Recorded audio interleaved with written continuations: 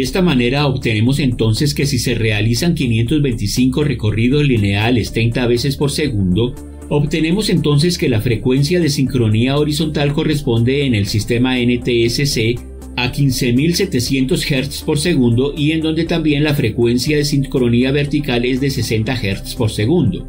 Ahora, los recorridos necesariamente implican que al acabar cada línea haya un recorrido inverso para colocar el haz de electrones de la pantalla en el punto inicial de la siguiente línea, por lo cual también existe un barrido inverso que no se presenta en la imagen o no puede ser percibido por el usuario y este pues es el pulso denominado blanking o de borrado.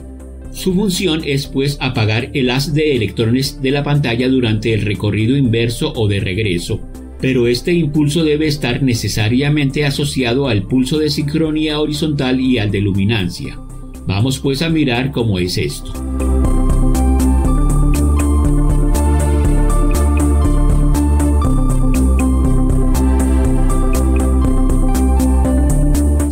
Dividimos un segundo entre 30 cuadros y después este resultado entre 525 líneas, obtendremos un valor de 63.49 microsegundos, es decir, que el tiempo transcurrido entre el inicio de una línea y el inicio de la siguiente es de 64 microsegundos, pero en realidad el tiempo asignado para la toma de la señal de luminancia en cada línea de imagen es de solamente 52 microsegundos. Entonces como resultado tenemos disponibles 12 microsegundos para realizar el regreso del haz de electrones desde el final de la última línea hasta el comienzo de la siguiente línea. Durante este corto periodo de tiempo, se realiza entonces el borrado de línea de retorno o blanking, y es aquí donde es necesario diferenciar la señal de luminancia de las señales de sincronismos y poder insertar así los impulsos de frecuencia horizontal y de blanking.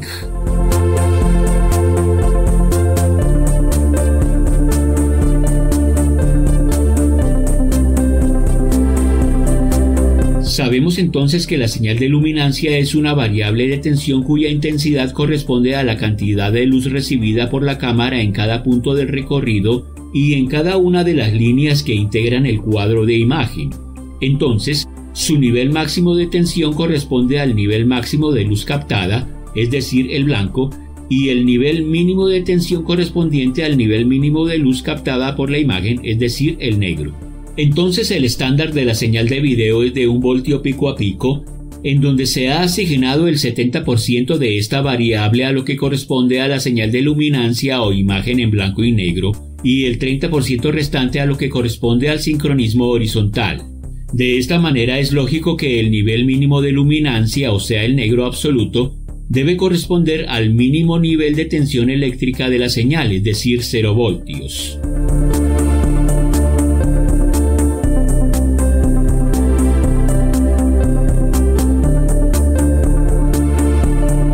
La implicación entonces es que las señales de sincronismo horizontal y blanking deben estar representadas por una tensión negativa para que puedan ser diferenciadas del nivel mínimo o máximo de luminancia.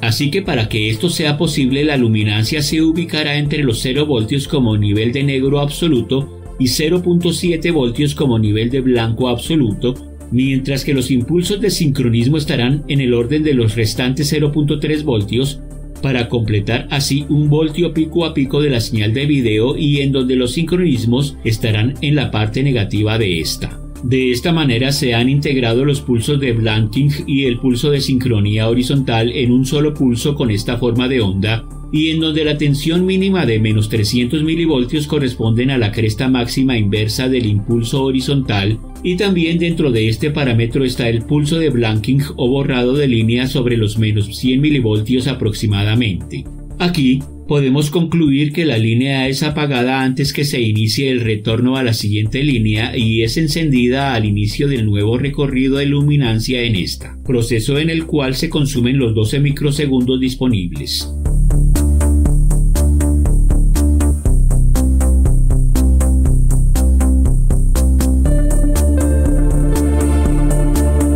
Barrido de cada campo par o impar en la pantalla termina al haberse repetido esta secuencia 262.5 veces y es aquí donde debe dispararse el pulso de sincronía vertical para comenzar nuevamente el barrido desde la parte superior de la pantalla, pero este proceso no es tan simple como en el caso de la sincronía horizontal, puesto que por causa del barrido entrelazado es necesario asegurar que el retorno se realice de manera coordinada al retorno anterior, es decir, que si este último retorno terminó en la esquina inferior derecha de la pantalla, se asegure que la siguiente línea comience en la esquina superior izquierda de la pantalla, y si la última línea terminó en la mitad de la parte inferior de la pantalla, su recorrido reinicie en la mitad de la parte superior de la pantalla. Esto mientras se mantiene la sincronización con el pulso de barrido horizontal.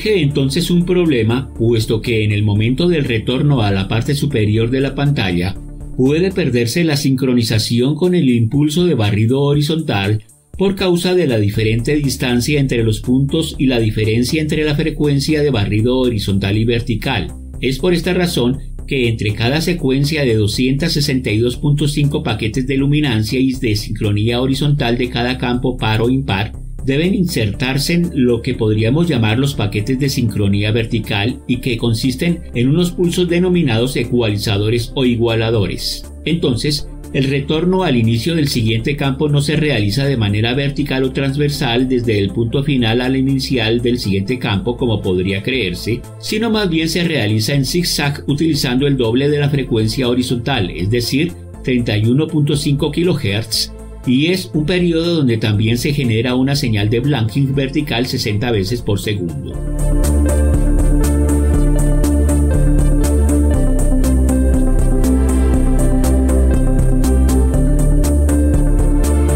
Antes de continuar debemos anotar que no todas las 525 líneas de barrido horizontal son totalmente activas o visibles, sino que unas pocas líneas al final y al inicio de cada campo, arriba y abajo, se mantienen ocultas en la pantalla y que son utilizadas con dos propósitos diferentes. Uno, posibilitar el encaje o encuadre la sincronización de los campos con la frecuencia horizontal y otra parte de estas líneas se utilizan para otros servicios como la transmisión de teletexto dentro de la señal de video.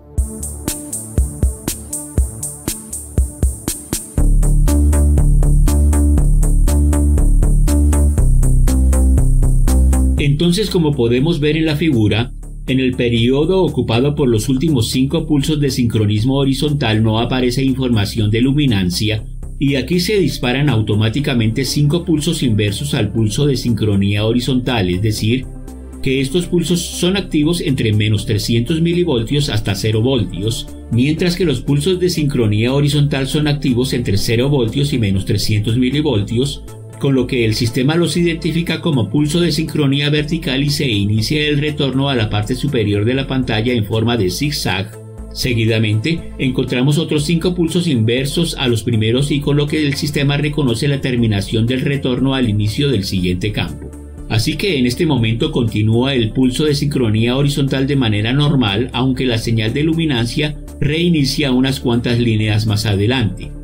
Recordemos que durante este corto periodo de tiempo la frecuencia de disparo de los pulsos ecualizadores es el doble de la frecuencia horizontal, es decir, 31.5 kHz.